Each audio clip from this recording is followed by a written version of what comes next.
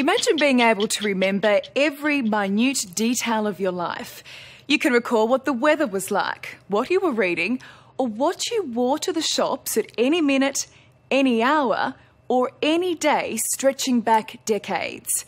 It sounds like some kind of parlour trick, but it's actually a real and very rare medical phenomenon. So far, scientists have identified 10 cases worldwide.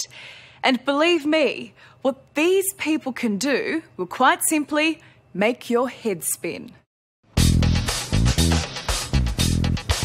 Take a ride with me down memory lane with veteran Hollywood actress Marilu Henner.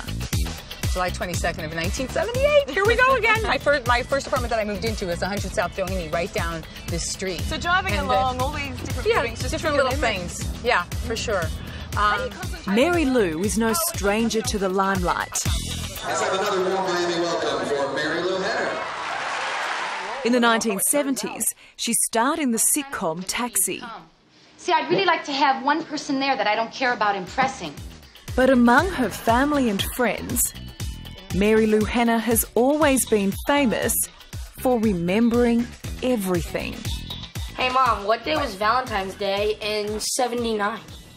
it was a Wednesday. And you're right. I've never explained how you do that. I don't do it. I just see it. And you can remember your whole life. Yes, I can remember my whole life. And some things come up like right away. And then some other things kind of come up a little more slowly, but eventually everything comes up. I thought I'd see just how far back Marilu's memory goes. Well, then by all means, just come to my party. Picking at random an episode of Taxi filmed more than 30 years ago. Thank you very much. I had a look at the Taxi episode from 1978, Come As You Aren't. Do you Oh, remember that was the fourth episode that we shot. And I had the blue dress on. Alex? See, that was going to be my first question to Oh, you. what Do you dress? remember what oh, colour Oh, dress you yes. wore to the party? Yes, yes, yes. And So so you- it- oh, and, and. I remember Tony's line. How come we can't go to the party too? How come we can't go to the party too? You know, it's like things come back. A line to Alex. You're maybe my best friend. You're maybe my best friend. And he turns around. And you know, it's like the episode will come back to me. And I remember. Mary Lou is one of just 10 people in the world who've been tested and proved to have superior autobiographical memory, October 1st, 8th. total recall of every day of their lives. Extremely impressive. Delta Airline Flight 191 crashes near Dallas, Texas. oh, I know exactly when that happened because uh, it was August the 2nd of 1985. It was a Friday. Such a gift has never been documented before, and scientists like Professor James McGaugh Jim. are excited about where it may lead. Uh, one of them said it's like a Google search that you put it in and, and it just sort of and there it is.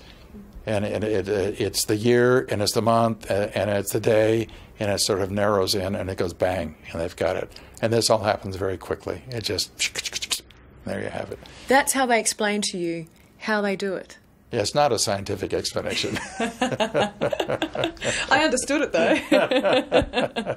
It really is like selected scenes on a DVD. so, how does it work? If I throw you a random date, say the 8th of September 1985, Okay, so the, I know 8th of September 1985 was a Sunday. It's like 85 all of a sudden kind of lines itself up and it gets completely organized sort of in a timeline way and I see the whole calendar sort of fall into place. it's an extraordinary skill and one that Marilu is thrilled to have.